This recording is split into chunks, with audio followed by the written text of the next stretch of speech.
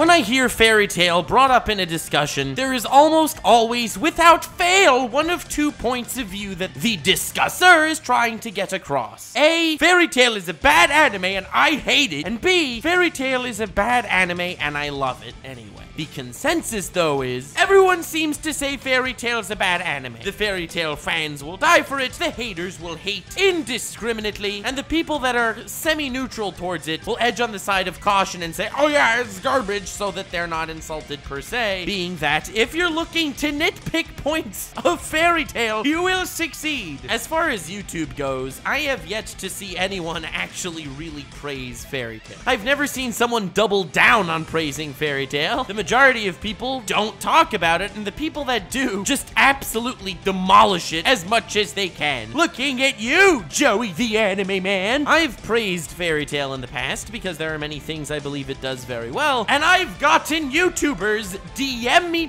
privately on Twitter saying, Yo, dude, don't give Fairy Tail a platform. Don't actually be a voice of reason defending it. We want it destroyed. It's garbage. I'm obviously not going to tell you who that is because it may be taken poorly, even though I personally found it hilarious. But my point stands. Everyone blasts Fairy Tail. This video is not taking either of the approaches. I am not saying Fairy Tail is a bad anime and I hate it, and I'm not saying Fairy Tail is a bad anime and I love it. I'm saying Fairy Tail is a great anime, I love it, and this is why it's amazing. It has a huge following, people cried dozens of times watching it. There is something to it, whether you like it or not. Today, the ultimate Fairy Tail defensive analysis video telling you why Fairy Tail is amazing and no one apparently understands Fairy Tail. Now, Fairy Tail is like 330 episodes long, so I'm not going to be going through every individual scene saying, ah, this is secretly why this was awesome, even though it looked like an ass pull. Not only will I not do that, but I cannot do that. If you want to criticize Fairy Tail for an overly abundant amount of fan service,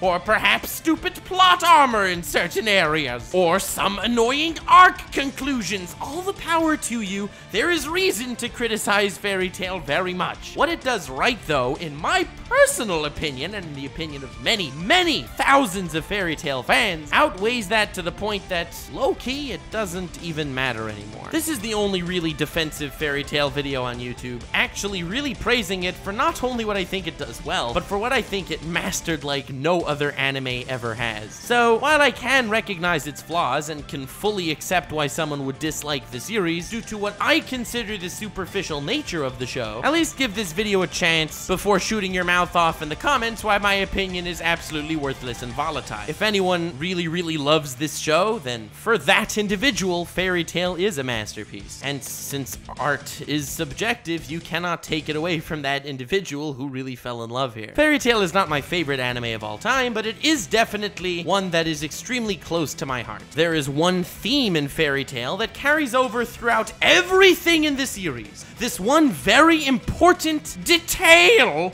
that I believe people semi-understand, but don't really understand the scope or breadth of it.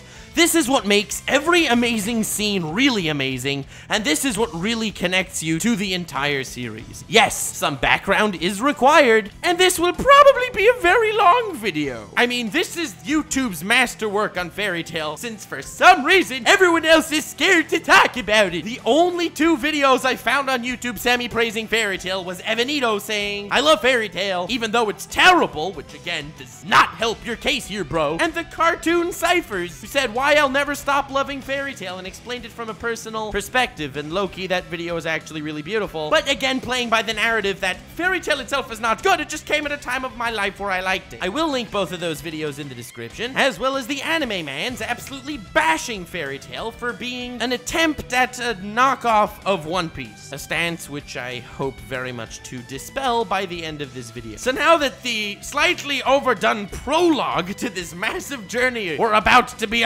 undertaking out of the way, we're gonna be breaking this up into several segments, being that, well, it's gonna be long, and me babbling without any direct direction will be difficult for all of us. So first and foremost, we have to talk about the protagonist of Fairy Tail. Nearly every single shonen story focuses on a central protagonist to carry the story forward. The adventures of said protagonist that us viewers can relate to as we journey alongside them, growing as the protagonist grows, experiencing as the protagonist experiences, and while the protagonist reaches a stage of fruition where they are finally recognized or they fulfill the task that they believe in, finally discovering themselves, us viewers can discover something about ourselves along the way. The shonen protagonist role, in my opinion, even though it sounds awfully generic, is fascinating. It's a character that I feel like is almost impossible to truly get right and can never really be the favorite character of said series. Not necessarily to everyone. In fact, by popular poll, the protagonist always wins the popularity contests. However, to use this as a simple example, if the protagonist gets 3,000 votes and the second place only gets 2,000 votes, that means the protagonist won by a landslide. But at the same time, the support cast is far more nuanced than the protagonist, and therefore, everyone has a different favorite support member. If you add the total votes of all the support members, they far surpass the votes for the protagonist himself. So the protagonist needs to take some form of generic role in order to push the story forward.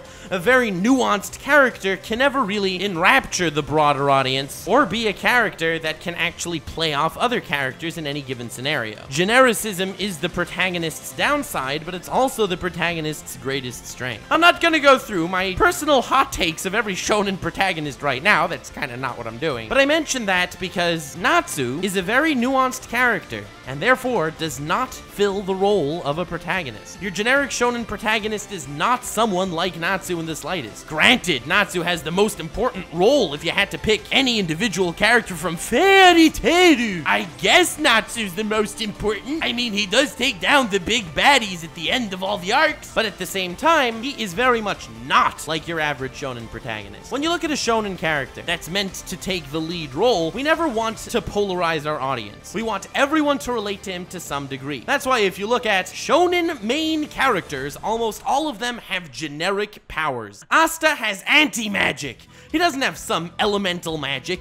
Deku, super strong. Naruto, he uses Rasengan, which is essentially a really powerful melee attack, and Shadow Clones, which is, again, normal type, not some element. They always have well-rounded, non-niche powers, and almost never actually have an element. Natsu uses fire. That is a polarizing element. Maybe people like ice better. Maybe people like lightning better. And the reason why I mention all of this is because Natsu does not have the build of a main character, and that's because Natsu is not the protagonist of Fairy Tail. Lucy is not the protagonist of Fairy Tail either. If you look at other generic protagonist traits, they win the big fights at the end of the arcs, they're somehow related to the big main bad guy at the end or something, and well, for the most part in shonen anime, they're dudes. Neither Natsu nor Lucy fit the bill even slightly for a protagonist, and that's because the protagonist of Fairy Tail is the Guild Fairy Tail. I've said this before, and I think that wrapping your head around this point is the single most important thing to understand about the series. You're not following Natsu's journey to find his dad. You're not following Lucy's journey to actually become a wizard she can be proud of herself for. You are following the evolution of this guild Fairy Tail, the challenges they have to overcome, the inner dynamics of the guild, and you don't have to find yourself as the protagonist's individual character finds his identity. You find yourself while the guild Fairy Tail finds its identity. Now, here's where the knockoff One Piece insults come in. And honestly, while there are certain things that Fairy Tail copies from One Piece, and I mean, Gildarts is literally knockoff Shanks, and I don't care because Gildarts is completely badass for different reasons than Shanks, is the Straw Hat Pirates in One Piece are by no means the single protagonist of the series. Luffy is clearly the protagonist of One Piece, and One Piece is amazing for entirely different reasons than Fairy Tail.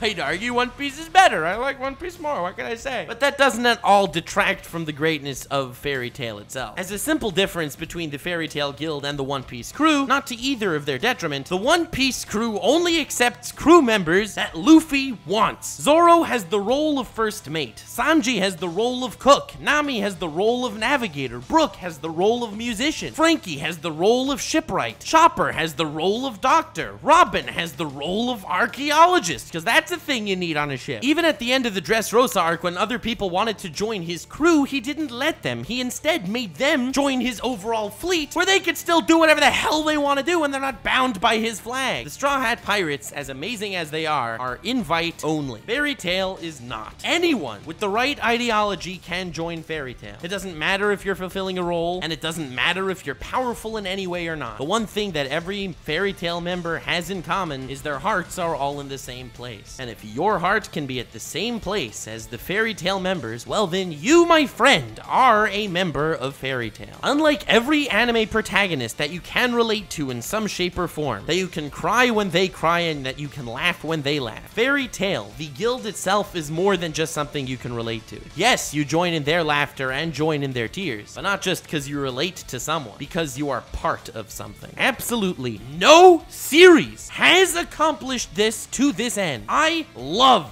the One Piece crew. I love Class 1A in My Hero Academia. I love the Black Bulls and Black Clover. But I don't feel like a member of the Straw Hats. I don't feel like a student in Class 1A, and I don't feel like a member of the Black Bulls. I love them for who they are, but I am not one of them. I am a member of Fairy Tail. Now, that may have sounded cringe, and well, I understand that, but we must swim through the thickness of the cringe in order to come to the truth. I apologize, but I have to kind of go all out for this video. I have to make my points clearly because no one else talks about Fairy Tail in a positive light. Remember this well because we will be coming back to this point. We will be coming back to the ideology that you are a member of Fairy Tail and that Fairy Tail is the protagonist of Fairy Tail. Your guildmates.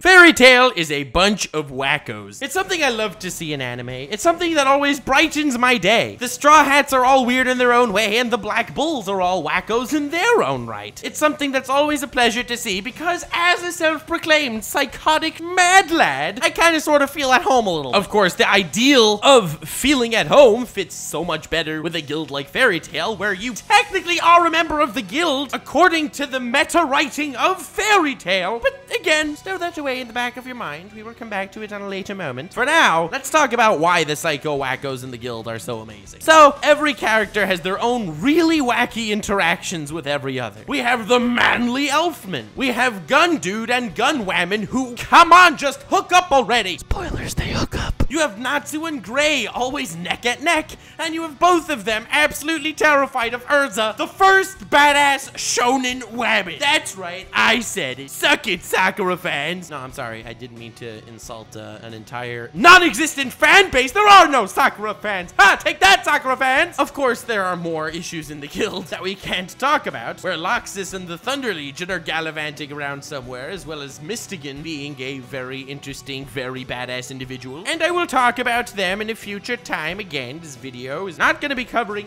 everything, but I'm going to be talking about a lot. So even though the character interactions in the guild are something you pick up relatively quickly, everyone is different. You can't be like, oh, okay, I get the cardboard cutout character persona, so I kind of understand everyone else. That is very much not the case. The level of quirkiness depends on the level of mainish character of the different guild members of Fairy Tail. I feel like the early introduction of the guild did a fantastic job elaborating how every single character is entirely different, yet somehow has some really weird sync with one another. You have Gray, who always gets naked for no reason. You have Cana, who's always wearing her underwear while drunk. And you have Mirajane, who's, fun fact, literal Satan. And she's adorable. Everyone's immediately quirky in their own way, and no one even tries to hide any of it. They poke fun at each other, but no one actually gets offended by each other's insults because they're also part of this weird, wacky, quirky family. As are you. Natsu and Gray are always fighting, so of course Master Makarov always sends them on missions together. Duh! That's the absolute logical thing to do. So many of them joined the guild as orphans, Makarov becomes the de facto dad as well as the master of the guild. They're not just his metaphorical children, they become his actual children. And like any good dad, when his two sons don't get along, is pair them up together on life and death missions in order to have bro bonding time. The absolute mad lad. Slowly but surely, you begin to learn the different quirks of this very seemingly dysfunctional yet somehow still functional family where Loki's trying to pick up chicks, but everyone already knows Loki, so he ain't falling for it. And you have someone like Mystogan, whenever he wants to accept a mission from the guild hall, he'll cast a spell on the guild to put every guild member to sleep so they don't bother him while he walks in, takes the mission request, and walks out. You have to learn to get used to the nutso dynamics that don't make sense and that shouldn't work as well as they do because you're not just following the guild around. You are also an individual quirky member of this guild that can get hyped when the guild kicks butt and can get sad when the guild gets its butt kicked. I emphasize the quirkiness of every individual because one big fatal issue with society nowadays is that everyone wears a mask. Especially with social media, so many people pretend they are people they're not. It's easy to do, and you know, sometimes it's just easier. At least so it seems. A common cause of low self-esteem, which of course leads to depression, is the idea of someone who can't look squarely at themselves, but have to make believe there's someone they're not, stuffing their true self deeper and deeper inside until someone begins to feel like an empty shell. I feel like a lot of YouTubers go through that, and I've done a lot of research on this subject because of my own personal experiences. But even though it's hard in such a judgmental world, you gotta be who you are. The mask and persona persona thing does not work. It may be a bandage to some very transient problem. It'll make you look cool for a bit, maybe make you fit in more with the people you want to fit in with, but it's not you. Fairy Tail emphasizes very, very much that every single guild member knows who they are. An extremely common trope in shonen is the find yourself trope. It's a trope I very much enjoy and I feel like it can bond you to a character as well as really develop certain characters. I feel like Todoroki did a great job of that in My Hero Academia, as well as Nami doing a great job of that in One Piece, among many, many other characters. As I've mentioned, it's a common trope. Fairy Tail is a guild with characters that flood the entire spectrum of anime trope. The background characters are literally just trope characters in order to fill the shoes of another Fairy Tail member. I'm not saying every Fairy Tail character is written so brilliantly. Oh, the infinite philosophy behind Max, the sand guy. But while the find yourself trope is present in a character like Jellal and the other members of the Crime Sorcière Guild, it does not exist in Fairy Tail. Every character in Fairy Tail has succumbed to their quirky nature. They fully embody who they are. They wear their ideals on their forehead. Even Mystogan, the guy who wears a mask to cover his face and never talks to other members of Fairy Tail, he puts them to sleep before walking into the hall to accept a request that guy never betrays his ideology. It's the same quirky ideology through a different lens of every Fairy Tail member. In the Phantom Lord arc, I will remember this scene forever. It's one of my favorite moments in Fairy Tail. While the guild was battling a rival guild that had far more manpower and a, you know, this really massive cannon, the Fairy Tail guild was in shambles when they finally won. And of course, different members of the guild were like, oh, Mystogan, that butt face, he didn't even show up to help us. We were nearly wiped off the map. But come to think of it, Phantom Lord had 50 other strongholds that they didn't even incorporate into their fighting force against us. Ha! Phantom Lord so stupid, taking us so lightly. And then the next scene, you see Mystogan in a forest with flags. One flag for each of those 50 fortresses draped over trees throughout the entire forest. Mystogan the Mad Lad, who's very busy by the way, wiped out 50 strongholds for the sake of his guild. He didn't take an ounce of credit for it because that's not who he is. He's the guy who cares for his guild as much as any other member of Fairy Tail. Yeah, he has many other reasons for hiding his identity from the other members. Yes, that's all explained. But that moment encapsulates what it really means to be a member of Fairy Tail. Every single member is quirky in their own wacky way. They poke fun at each other, they annoy each other, and they all know each other extremely well. They are a ridiculously functional, dysfunctional family where each person knows exactly who they are. They are not hiding behind masks. They are not cowering behind their true ideals while they just go through the motions of making friends with the other members. Everyone knows exactly who they are, and everyone harbors the same love for the guild as everyone else. So,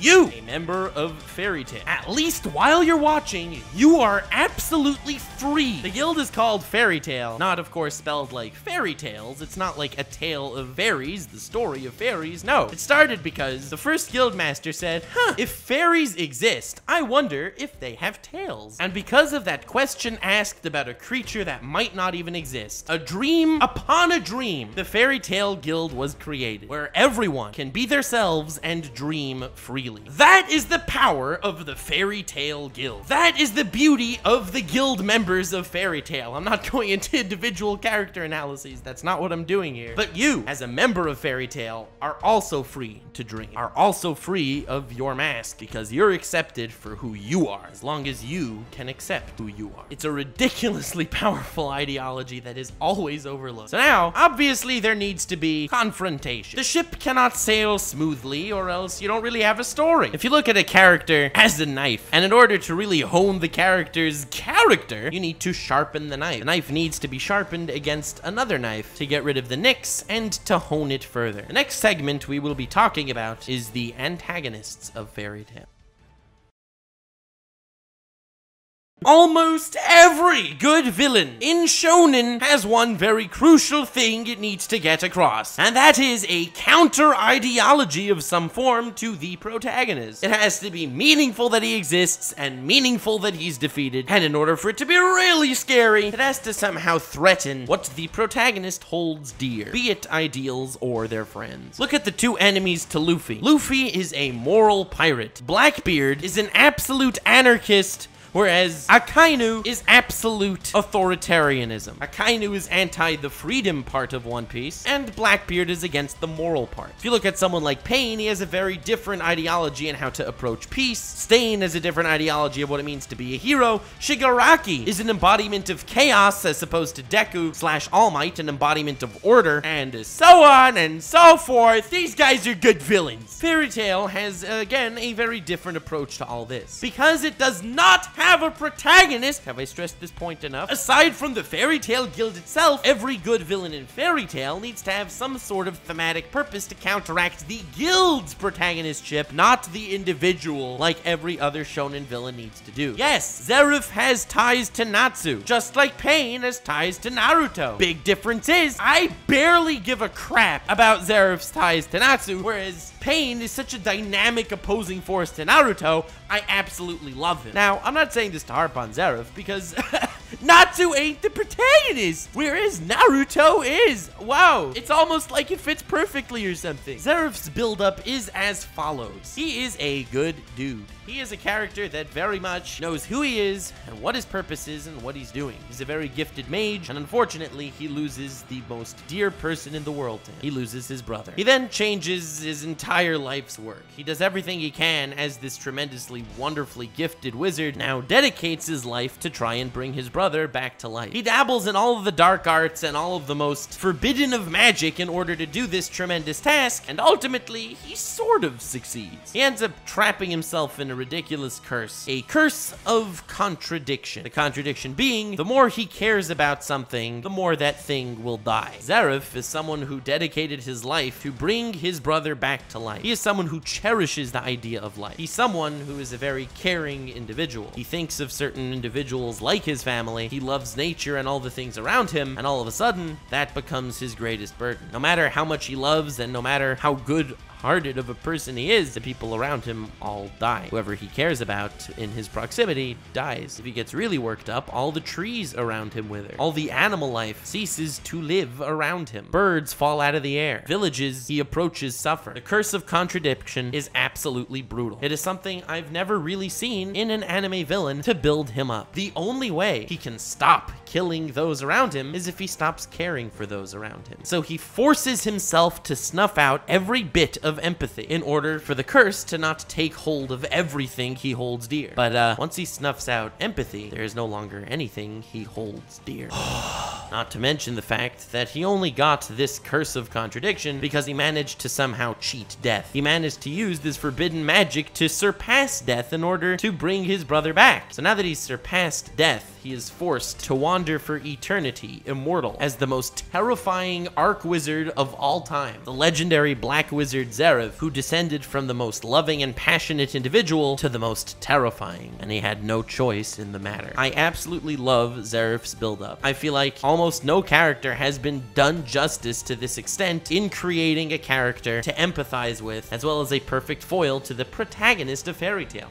What? Because of his ties with Natsu? No, Natsu's not the protagonist because of his ties with Fairy Tail. Now, before I even get into his physical ties, let's quickly and briefly sum up what I said, put into a slightly different light. His core personality traits were caring for his family, willing to give his life for his family, being an empathetic, goodwill person who, despite the fact that people despised him for looking so deeply into magic to revive the dead, he did not care what people thought of him. He did not wear a mask. He did what he believed was right. And he is the core accentuated personality that you find in Fairy Tail. He's an exact member of Fairy Tail. Everything about him fits so perfectly with the thematic construct of every member of our guild. And due to forces out of his control, it all gets utterly stripped away from him. It is the most tragic progression of his character as a perfect foil to the protagonist, the guild of Fairy Tail. He's not an ideological adversary because it's not the ideology of Fairy Tail that makes the show go. It's not about the justice of the heroes in My Hero Academia or the adventures of the Straw Hats of One Piece. It's about how much we care about the members of our family in the Guild of Fairy Tail. So as an opposing force, we don't need a counter ideology. We need a like-minded character that resulted in tragedy. That is the buildup of Zeref, but not only that. If you look at most of the villains in Fairy Tail, they have a very similar thematic purpose, even though in actuality, they are all very, very different. If you look at the Mage August, he is someone who became who he was because of the lack of care that his family gave him. His fight against Gildarts was absolutely amazing because Gildarts was putting his life on his line for his daughter as a perfect foil to August, who cannot understand the bond between parent and child. You have someone like Irene, who sacrificed absolutely everything for her child. She sacrificed her humanity, her dignity. She suffered tremendously for 400 years only for the sake of her family until eventually she snapped. So of course, she fights her her own daughter, Erza, who before the fight starts says to her mother, who she finally met after a long time searching, thank you so much for abandoning me, because if my mother wouldn't have abandoned me, I would have never found my real family. If you look at someone like Hades from the Tenro Island Arc, leader of the Grimoire Heart Guild, he is the former second guild master of Fairy Tail, who took a turn for the worse. So many of the villains in the Tower of Heaven arc, including Jellal himself, were part of the same slave camp that Erza was brought up in. They all share share the same familial ties. It's all about that family. It's all a perfect counter to the protagonist of Fairy Tail. A lot of people hate on the power of friendship, and honestly, I do too to a large extent, so no blame here. But the difference is between Power of Friendship in Fairy Tail and other plot armor in different series, Power of Friendship is the exact thematic counter to the villain that they are overpowering at any given time. Yes, the power scaling makes absolutely no sense. When Erza, who's completely immobilized with one arm that isn't broken and she shoots herself up, shatters a meteor, and on the way down defeats this adversary that's renowned as one of the most powerful witches of all time. Power scaling wise, total trash. Thematically, absolutely beautiful. But to head back to Zeref a little bit, because he's my second favorite antagonist in the series, and you'll soon see who my favorite is. Zeref then actually did manage to find someone he loved. He found Mavis, someone else who had this curse of contradiction. The people around her started to get ill and die as well, so she banished herself to some faraway forest. She eventually meets Zeref, and they eventually fall in love. Both immortal, so even though they begin to care for one another, they can't kill each other. It's actually a finale for Zeref's centuries of suffering. He found someone he could love without repercussions. So when they finally hug and kiss, and Zeref finally cries, caring for this other individual with his whole heart once again, finally realizing that his family can exist. He can have a bond with one another. The life within him is not completely snuffed out by this fated curse. His curse of contradiction overpowers hers, and he kills her. That is the last straw. A finale of Zeref's entire character arc waltzing off into the sunset with Mavis is more than fitting. So even though a lot of hate is targeted at the Fairy Tail villains,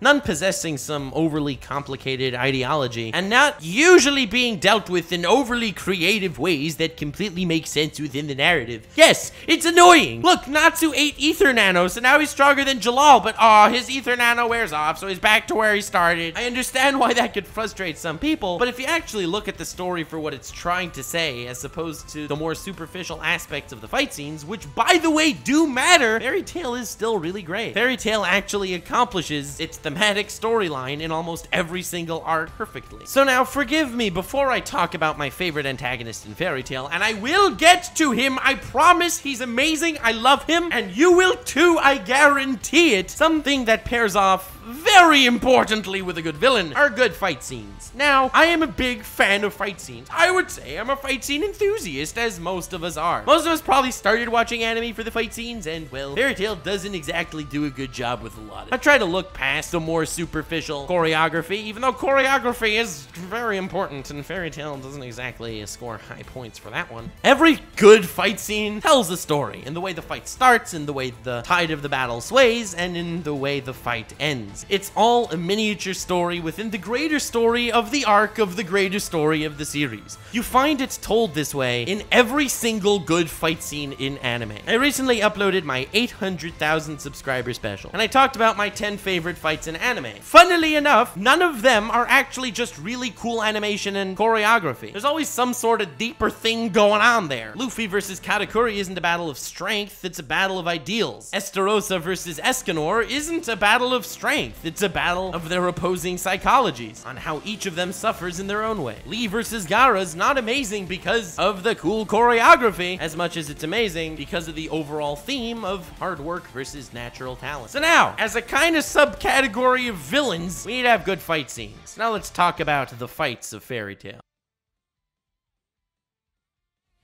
As I've mentioned, every fight, at least with the good ones, needs to be a little encapsulated story of the overarching themes of whatever the hell is going on. So if you look at the basic outline of Fairy Tail fights, well, almost everyone is disappointed and they are shat on on YouTube constantly. Granted, the choreography is not the greatest ever. To be fair, the choreography in One Piece isn't that fantastic either. But no one complains about those fights. The choreography in Dragon Ball is not great, but everyone loves Dragon Ball fights scenes. There's another problem with Fairy Tail. The issue, or at least the so-called issue slash problem, is the lack of impact in the fight's finale. As I've mentioned, when building up villains in Fairy Tail, Fairy Tail does a tremendously good job. Jellal being part of the slave camp, Zeref having the curse of contradiction, whatever the hell it may be. Villain buildup is great, but it's really hard to solidify a villain as a fantastic villain if the villain takedown is not. This is a flaw that many people like to point fingers at Fairy Tail for, because a lot of the fights end in the same, slightly underwhelming fashion. Natsu eats Etherion to defeat Jellal, loses Etherion powers for later. Natsu eats Golden Fire Thingo to fight against Zero, loses Golden Fire Power Thingies for later. Natsu eats Laxus's Lightning against Hades, isn't nearly as awesome with that Lightning power later. It's always some generic power-up that doesn't even fully flesh into the story, that usually doesn't even impact the greater story past that. It's not hard work on Natsu's part, part that let him pull through at the very last second. It's at the very best. The power of friendship. Yeah, I said it. But just like when I was talking about the Fairy Tail members segment, the power of friendship fits in the theme of Fairy Tail far better than hacks, plot boosts to protect your friends do in most other series. It's not Naruto is fighting to become the greatest Hokage, and also he happens to have friends. The core theme of Fairy Tail is this family. So while the theme is nice to stress that the main character is winning with the power of friendship, well, it doesn't exactly make the fight scene all that riveting. I personally, and I'm going to be stretching the envelope on the definition of fight scenes here, think the fight scenes in Fairy Tail are actually pretty great as well. Now, not at all in the normal definition of what a fight scene is, though, but honestly, that doesn't even really matter all that much. I will elaborate, so please hang on for a second. In a series like Naruto, Dragon Ball, My Hero Academia, Black Clover, the goal is to become the strongest at something. The greatest hero, the Wizard King, the Hokage, Goku just wanting to beat his opponent for the sake of winning. Whatever it is, the idea is becoming stronger. So since that is the theme at work, pushing the protagonist forward, they have to overpower their opponents through strength. Strength has to be that breaking point that allows the main characters to push forward and head into their next challenge with their heads held high. Because of this, Naruto overpowering Pain, Asta managing to beat Vetto with help from his guild, Deku and his squad managing to take down Stain, or Goku literally overpowering everyone ever. That's something that needs to happen in order for the series to progress. So, the tale of any individual fight scene is growth oriented on a power basis. Let's say Goku, before fighting his generic opponent, for the sake of argument, has a power level of just a wee bit over 9,000 thousand. Pretty crazy, I know. And his opponent, well, his opponent has a power level of hundred thousand. So the enemy is like way stronger than Goku. Now, at their first squabble in the beginning of the arc, let's say he slaps the craps out of Goku. Goku has like no chance against him, but because he's a resilient Saiyan warrior that pushes forward, he manages to unlock a new form, and by the end of the arc, Bamo, power level of a trillion. This may be slight hyperbole on my part, but it's not that far off, okay? Being that the power growth is the overall story, the tale of any individual fight needs to take that turn. Now, if Goku's power was completely retconned after the fight, like Natsu's Etherion wore off, Goku forgot how to go into Super Saiyan. He can't do that ever again. That would be a slap in the face to everyone who actually fought through the entire arc where Goku managed to get to that point. The narrative of that arc cannot be counteracted, and the flow of the story fits nicely. Fairy Tail has a very different perspective of all of that. Natsu, well, he doesn't have some massive goal of becoming the strongest ever. In fact, he's not even the protagonist of the series. If the protagonist is the Fairy Tail Guild, and it's that guild that's evolving every individual member as well as integrating them with one another and with us, the viewer, the proper evolution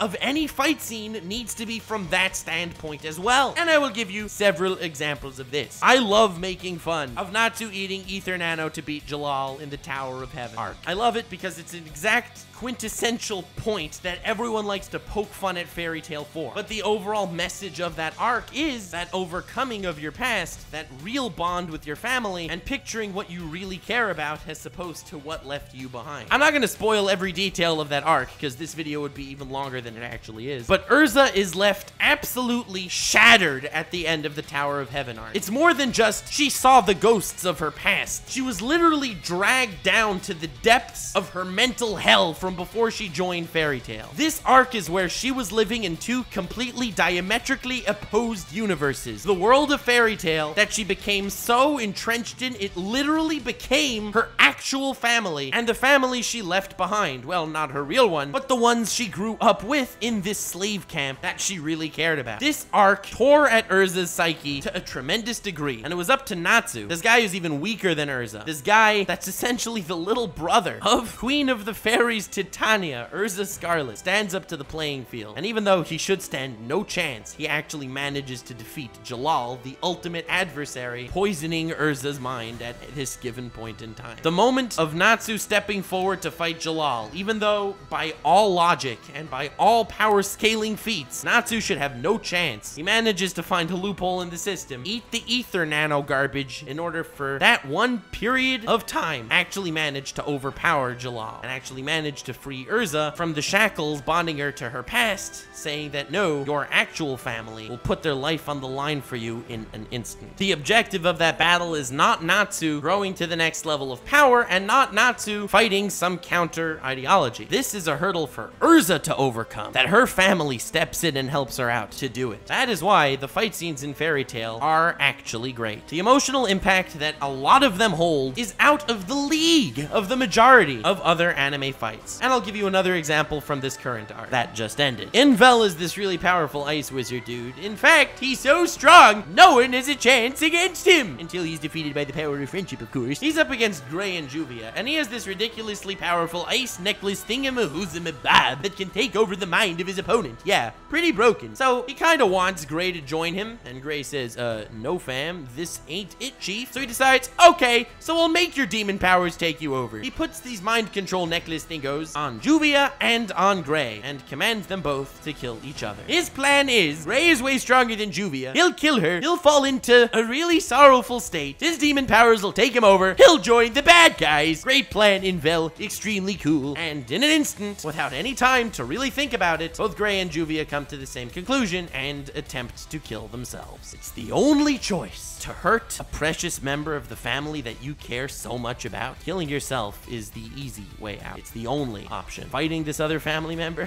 that doesn't even fall into the equation. Juvia then had this water pipe thingo that she was able to give Gray a transfusion. Gray was able to survive, and Gray, in a massive fit of rage, absolutely obliterates Invel. Power scaling wise, Invel was really strong, and in fact should have been more powerful than Gray. But power scaling does not matter at this point in time. The obstacle to overcome, as I've mentioned, isn't a growth in power, it's the growth in bonds of your friends. It's becoming more and more entrenched in this beautiful family of Fairy Tail. The powerful moment isn't taking down the bad guy that's threatening to destroy the universe. The powerful moment is Gray and Juvia immediately, simultaneously, attempting to end their own lives so they don't lay a hand on one another. That's the high impact moment. Right after this takes place, we're back with Makarov. Makarov is facing an army of uh, like 14 trillion dudes or whatever, and even though everyone in his guild is fighting and being slowly overpowered, Makarov decides it's time to use Fairy Law. Fairy Law is this ridiculously broken technique that you basically convert your life energy into this massive spell that takes out anyone you deem as an enemy. That is, until you run out of life energy and die. There are too many opponents for him to just use some life energy on, and if he uses Fairy Law, he knows that this is the end of the road for him. Yes, the choreography is not great, but no, that doesn't matter. He uses Fairy Law and sacrifices his life to take down a massive amount of enemy troops. He doesn't want to chance his children getting overrun by these foes. For him, this was the only option. The scene then changes because Natsu and Gray are in a feud because of whatever plot reasons required. And as Natsu and Gray both attack each other with an extremely ridiculously broken attack, Erza jumps in the way and with her bare hands blocks both Natsu and Gray, freezing one of her hands and burning her other hands to nearly ash. Power scaling wise, it makes no sense that Erza was able to block those attacks. Erza should have been obliterated with no armor, no magic, just standing in between these ridiculously broken forbidden magic attacks. But it doesn't matter. She blocks them and she's crying and she snaps the hell out of whatever ridiculous garbage was going through Natsu and Gray's mind at that time. That moment is so powerful. Power scaling wise, granted, absolutely trash. The emotions evoking from the audience at this time, absolutely next level. Our master Makarov just gave his life to protect his children, and here you two are fighting it out with one another? That is a punch to the soul. And that is what a high impact moment in Fairy Tail is. That is how the protagonist of Fairy Tail, the guild of Fairy Tail, evolves. That is why the fights in Fairy Tail have meaning too. It's not all about overcoming your opponent in strength or an ideology. In Fairy Tail, the protagonist is not an individual. The protagonist is the guild itself. So now that I've talked about villains, and now that I've talked about fight scenes, it's time to dedicate an entire segment to the Grand Magic Games. My favorite arc in Fairy Tail, and I have spoken to so many people who hate it to its entirety. I think amazing anime tournament arcs, the Grand Magic Games is in the forefront of my mind. There is no doubt that I absolutely love this arc. Not my favorite tournament arc ever, but definitely one of the best. So now immediately, here is some complaints about the Grand Magic Game. It's just a damn sports tournament. It's not like there's this massive plot twist within the tournament itself, like in the Chunin exams, where it was secretly a massive terrorist attack against the Leaf Village. It's not this game that even has a threat of death, like the Dark Tournament in Yu Yu Hakusho. It's just like, I don't know, festival where, where guys are having fun for absolutely no purpose at all. Yada yada, some complaints about the power scaling, choreography, whatever, we already talked about that stuff. But here's why you're all wrong about the Grand Magic Games. It encapsulates the core of Fairy Tail very damn well. Right after a seven-year time, who's in the Bob, the reputation of the Fairy Tail Guild is in absolute shambles. All the strongest members just disappear for seven years and somehow manage to come back. The Grand Magic Games is this yearly tournament that all the guilds participate in, and they get ranked, and they get street cred, and they get respect for how well they participate in this tournament. Not to mention they get money. But more on that another time. Now, after these seven long years, and now that the reputation of the Fairy Tail Guild is an absolute shambles, our greatest wizards finally return, time to participate in their first Grand Magic Games. Or perhaps the reputation of Fairy Tail can come back. Over these seven years that they were gone, though, a lot has changed. Sabretooth is the new top guild in town, and they have literally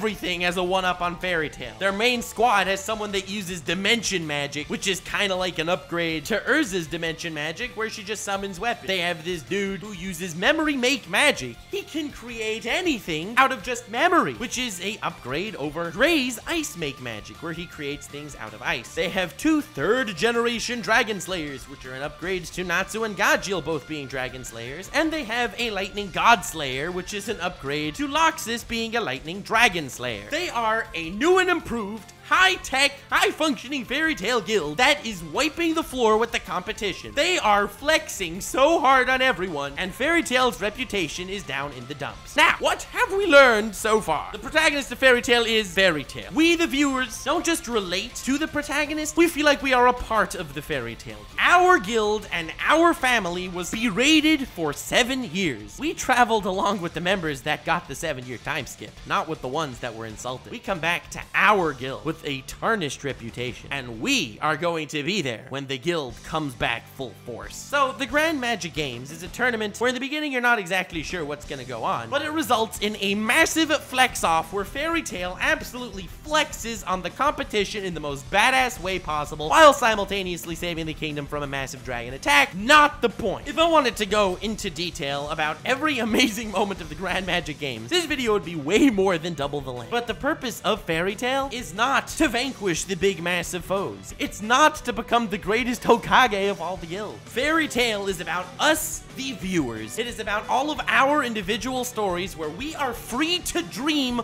alongside the members of our family. And that family was put through so much crap over the last seven years. We are going to be enjoying every instant of it reclaiming its glory. Erza will fight 100 monsters because she can. Mavis will come back from the dead to let Cana use fairy glitter because she can. Natsu is gonna ditch his teammate Gajeel to take on the twin dragons alone because he can. Fairy Tail is gonna get two of their squads into the top eight, not just one elite one, because they can. Laxus is gonna obliterate the entire Raven Tail guild because he can. Natsu's gonna attack the Sabretooth guild leader alone because he can. The Grand Magic Games is absolutely amazing. It is quintessential and perfect for Fairy Tail's narrative. It is exactly what Fairy Tail is trying to do. It's not lame because they're not fighting some evil massive force that's trying to take over the universe because Fairy Tail is almost a slice of life first and a shonen battle manga second. Fairy Tail's tragic moments are amazing because we're crying watching what our family is going through. When Erza was fighting against Tartaros demon Whammon, who stole her sense of sight, smell, and sound, and also increased her sensitivity to pain tremendously. Feeling the breeze against her skin was like feeling herself getting ripped to pieces by a flesh-eating Bakugo, damn it! But she was getting battered and tattered in this fight. The other people in the same room as her that weren't even the targets of these sensitivity spells could not move. Moving means more air touching your skin, meaning more pain and suffering. But Erza, with no senses, allowed herself to get beaten up so she could feel the pain of where her opponent's attacks are coming from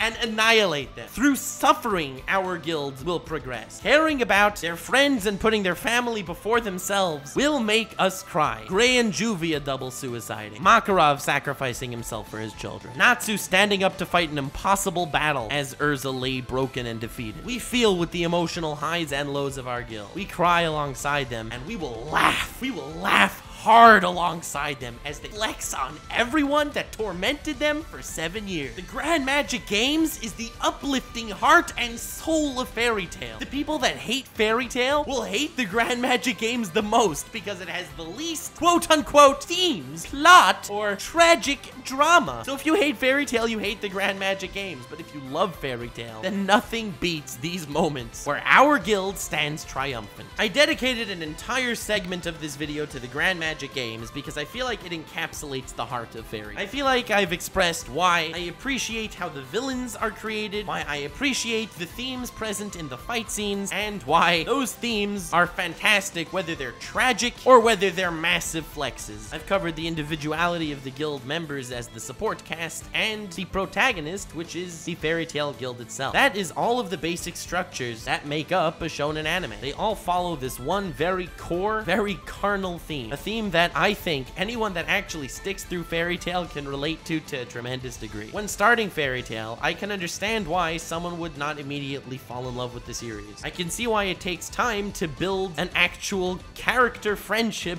with the Fairy Tail Guild members, just like building an actual friendship takes time. But after that friendship is built, you can look back. You can say, damn, Those times in the beginning were amazing. That's why, low-key, on rewatch, Fairy Tail is actually even better than it is the first time around. That is, at least the beginning. I do like the surprise flexes and the surprise tragic moments once I already love the guild in the latter half of the series. But now, I only have two things left that I really would like to cover before coming to a final conclusion in this video. Now that I think I've elaborated where all the pieces fall in regard to the individual characters and their interactions, I would like to talk about the setting. A lot of people complain about Fairy Tail's very mundane world building, and to that, I have to say I agree. While I feel like a member of the Fairy Tail Guild, I know nothing past the walls of the guild. Yes, seems like a kinda nice country. I've heard of this Alvarez Empire thingo, but it's not a world I like to explore, and that's not even necessarily a bad thing. To Fairy Tail's defense, the only thing we really need is the guild itself and the bonds the guilds make. And that is why a lot of people hate the final arc of Fairy Tail, but I kinda really like it. Aside from the high impact moments or whatever, it's all the bonds and all the friends that Fairy Tail made along the way that are coming together to help out our family. Remember that time where we hated Sabretooth and we grew past our differences by kicking their butts? Well, Sabretooth has a lot of debts to repay at this point, and they pay in spades. I think one of my favorite moments in the entire arc was Ichiya saving ass. Ichiya, this random dude from the Blue Pegasus Guild that they befriended so long ago, and his most ridiculous power set ever, saves the day twice. He saves the Thunder Legion right in the beginning of the arc, and this mad lad challenges Acnologia.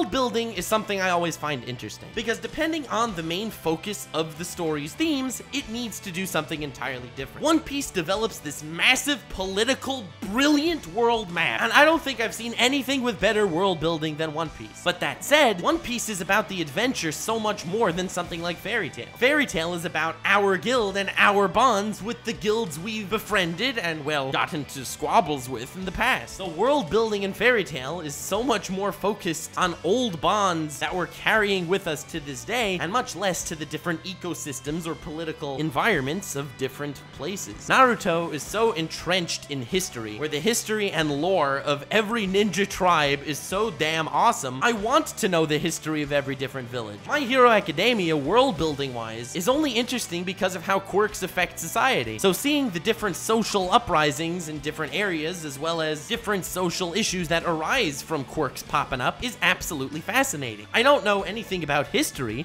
and I don't know anything about different political ecosystems like Naruto or One Piece, but My Hero Academia works in its own regard of world building. And the same goes with Fairy Tail. Fairy Tail is not about the grandiose politics of One Piece. It's not about the rich history and lore behind every nation like Naruto, and it is not about the interesting society about how they maintain life in this new quirk-infested environment. World building wise, Fairy Tail is about the bonds our family has made with the others around us. So, from a world building and setting perspective, I think Fairy Tail cashes out. I think Fairy Tail's final arc actually does put its right foot forward, incorporating every bond we've made with anyone ever in this massive showdown, where Chelia sacrifices her powers to fight against Time God Whammon, where Crime Sorcière, well, doesn't really do much, but they try, goddammit, and the whole idea of Crime Sorcière is misfits that don't fit in anywhere, that all have this interesting connection to Fairy Tail or Jellal that bring them together as this militant vigilante unit that is pretty badass in its own way. And again, it all comes back down to this familial aspect of how I feel like, as a member of Fairy Tail, these bonds we forged with everyone over all of our different missions actually matter to me and to my guildmates. So now, I've pretty much covered everything there is to talk about in regard to a generic shonen setup and why it matters and why it hits hard in Fairy Tail's regard. So as a grand finale, I would like to talk about my favorite character in Fairy Tail, Laxus. His story alone encapsulates everything that I would like to express to you from this story. So just by going through the various steps in his build-up, it very much solidifies what I'm trying to say. When I mentioned that I didn't talk about my favorite antagonist in Fairy Tail, it's because Laxus is my favorite antagonist in Fairy Tail. In the Thunder Palace arc, Laxus is introduced as this really annoying, spoiled brat. This dude is the grandson of Makarov, the leader of Fairy Tail, and this guy want none none of it. He wants to take over. He does not agree with the lax, annoying way his grandpa deals with the guild, especially because his grandfather kicked his father out of the guild for being a dumbass. But we'll get to that later. With a heavy heart, he challenges the entire Fairy Tail Guild to a little challenge. He and his three members of his Thunder Legion will fight the entire Fairy Tail. If he can win, Fairy Tail belongs to him. If he can lose, well then, you can kill him. He's an extremely powerful antagonist because he's always someone that the different members of the guild have their own individual bonds with. So this member of our family has turned against us because of his father, a former member of our family. Again, thematically, he is torn between his father and his grandfather. He doesn't know where to stand, and in the end, he selects power and challenges the actual guild. So now, I'm not to go through the entire Thunder Palace arc because while I do enjoy it a lot, I'm to stick to Laxus's basic development just to try and get my point across. In the grand finale of the Thunder Palace arc, when he's up against, guess who? Natsu! What?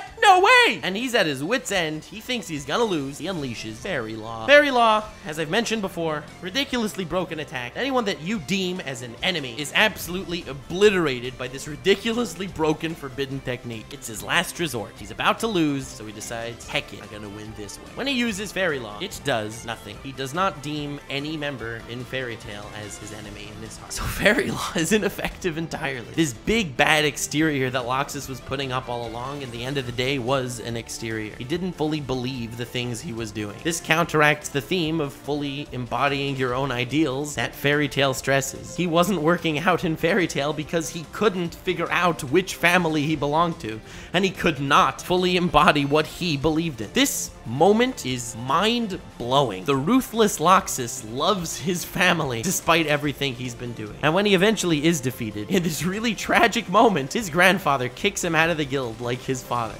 But in that moment, where Laxus is actually evicted from the guild, that is when he becomes, in his heart, a member of Fairy Tail. That is when he realizes where his home is as he's kicked out. There was a sign that he always had with his grandfather when he was a kid that no matter how crowded the streets are and he wouldn't be able to see him, if you raise your hand in the air in the Fairy Tail pose, which kind of looks like you're calling someone a loser, but let's not think about that for a moment. It means that wherever you are, whatever you're doing, I am there with you and I love you. Maybe it's cringy, I don't know, but in the massive festival at the end of the Thunder Palace arc, when Laxus is on his way out of the town that Fairy Tail is situated in, he turns back back to take a look at the guild that he just obliterated and put through the ringer. And he sees every single member of the Fairy Tail Guild with their hand outstretched into the sky in that pose saying, I am watching you, I care about you, and I love you whatever you are and whatever you're doing. And Laxus, the absolute mad lad, Chad, savage beast, breaks down into tears. And when they're up against Hades,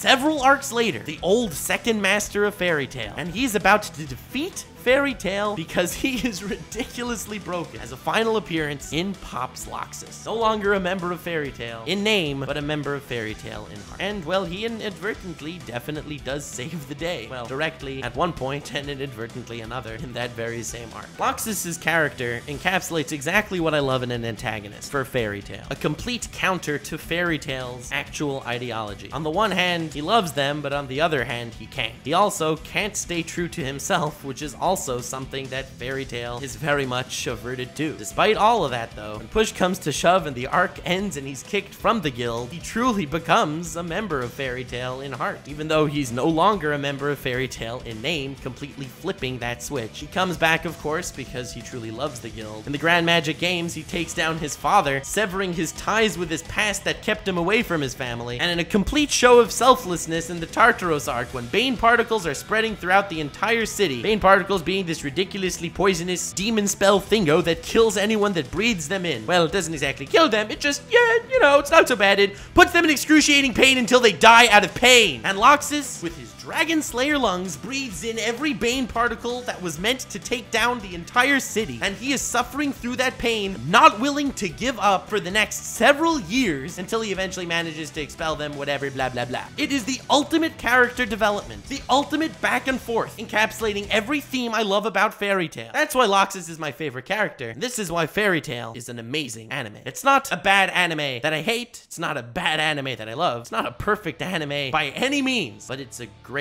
anime, and I very much love it.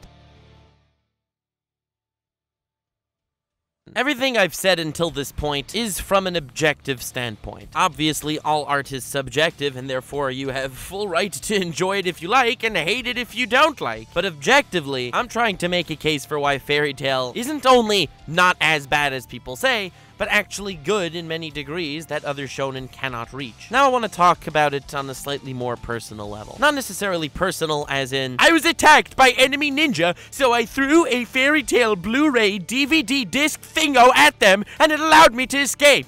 Fairy Tail is forever my favorite anime. Not exactly what I mean by personal. I mean, this is a personal appreciation I have for Fairy Tail, and I think it affects many people in a very similar way, which is why its following is massive despite the backlash one receives from saying they like Fairy Tail. Stupid as that sounds. When I watched Fairy Tail, it was kind of the right place and the right time for me to experience this type of show. I myself, at that point, was very lost. I did not know who I was, I did not know what I was planning on doing, and I was kind of just going through the motions, wearing whatever mask I needed mentally to fit into any situation at all. I had no per se passion for anything, and I didn't feel like I was accomplishing anything. Now, I don't want to say it's thanks to Fairy Tail that I managed to overcome that challenge, because, well, it's not. Fairy Tail just happened to be with me at that time, and being that I've been watching Fairy Tail for like a goddamn decade, I've been living with this series at every turning point of my life. At the point where I was not happy with myself and had to wear this metaphorical mask, all the way to where I am now. I know YouTubers complain about not being in a healthy mind state, but I am very grateful for the progress I've seen myself make over the last bunch of years. And just like the different characters in Fairy Tail are always acclimating with each other better and better, where their bonds grow stronger and stronger as they learn to become more of who they are, where they can follow their own dreams and they can have whatever quirky nature they want with no repercussions from the other members of their family. That's been very similar to my experience as well. If you've seen my channel, you know I'm a relatively quirky dude. I'm not the most, uh, let's just say, normal individual on the face of the universe. The people that actually like Fairy Tail don't make videos defending Fairy Tail because it's like taboo almost. you cowards. No, honestly, I don't blame you at all. I totally see it. For a coward, I'm putting my heart and soul into this Fairy Tail video because no one else on YouTube did. I know I'm gonna get crap for it, and honestly, I don't care. This is my perspective of something that means a hell of a lot to me. And it's not just me. There are many people that connect to Fairy Tail. There are many people that live in a society where they too have to wear a mask wherever they go, where they too want to be free to dream, where they too want to actually be themselves instead of try and emulate something they're not for the sake of those watching. Everyone judges. Everyone judges to the point that if you made a bad joke 10 years ago on Twitter, that tweet can be pulled up in front of you now and you could lose your job because of it. We live in an extremely judgmental world. Wearing masks became a habituated way to survive, and it is not healthy. But in this wonderful guild of Fairy Tail, a place where everyone's quirky natures are completely out and about, where anyone can dream, where anyone can become what they want to become, and they have people around them that care about them for who they are, not who they're trying to make believe they are. A guild that welcomes anyone as long as you have the right shaped heart and the ability to dream. The ideal of what Fairy Tail is, and the beauty of this guild is so welcoming to so, so many people. People who never had to undergo mental ups and downs, I believe, are the majority of the people that don't like Fairy Tail. Fairy Tail is for people who society would deem rejects if they would know who they truly are, and this is a safe haven for all of them. The Fairy Tail Guild, the protagonist of the Fairy Tail anime, is one of the few places that really feels like home. So with that said, and with Fairy Tail having just ended in the anime, thank you so much, so, so much for your many, many years of friendship. And it's not a friendship that's over either. It's on to new horizons for both Fairy Tail and for every single Fairy Tail fan and viewer. This video wasn't meant to discuss every positive theme or detail over the course of the Fairy Tail story. It was meant to tell you why I think Fairy Tail is great. So even though the Fairy Tail anime did end, and even though I'm approaching the end of my tribute to my happy years spent with Fairy Tail, it's on to new horizons with new adventures in an unknown future. But you gotta remember to embrace that quirky side of yourself. You have to remember to be yourself and not just live a masked life. It's important to have dreams and it's important to try and reach them because no matter where you are or what you're doing, we will always be members of Fairy Tail. Remember to like and subscribe as well as show it to any of your Fairy Tail fan slash hater friends to see what they think about it. But most importantly of all, remember to stay weird, fam.